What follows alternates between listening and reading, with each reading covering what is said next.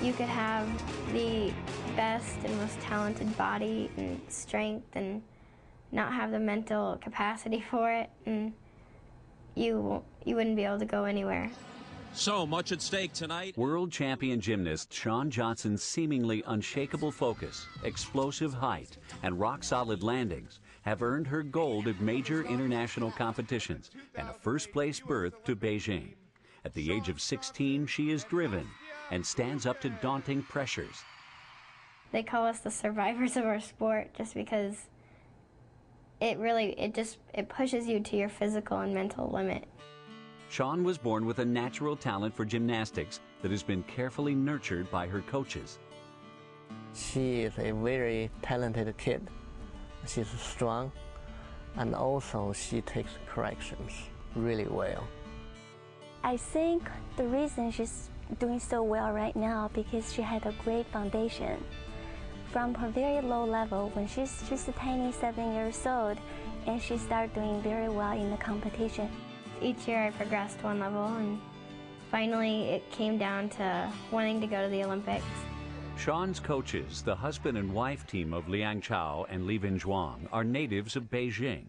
The couple met in the late 1980s when they were both gymnasts on the Chinese national team. Chow and Lee will return to Beijing for the Games. In addition to coaching Shawn, Chow has been named head coach for the U.S. women's gymnastics team.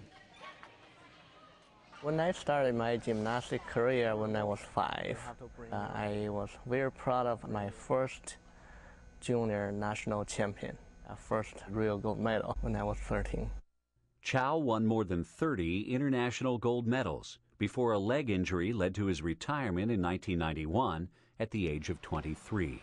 Before Chow's rise to prominence on the Chinese team, Tom Dunn, head men's gymnastics coach at the University of Iowa, had tried to recruit Chow to be a Hawkeye. He had a family friend that was at the University of Iowa, and uh, she brought a videotape for me to watch, and he was interested in coming to Iowa. And after I saw the tape, I was very interested in having him, you know, join our team. It was not gymnastics, but a scholarship to study English that first brought Chow to the state in 1991. He became an assistant gymnastics coach at the University of Iowa in 1993. Chow and Lee moved from Iowa City to West Des Moines in 1998 to open Chow's Gymnastics and Dance Institute. We're trying to create opportunities for all kids, building their uh, confidence teamwork, uh, flexibility, strength, all together is an entire package. It's not like we're only teaching the top elite world-class gymnasts. Chow and Li's knowledge and experience have enhanced Shawn's talent and drive. The result is a gold medal contender.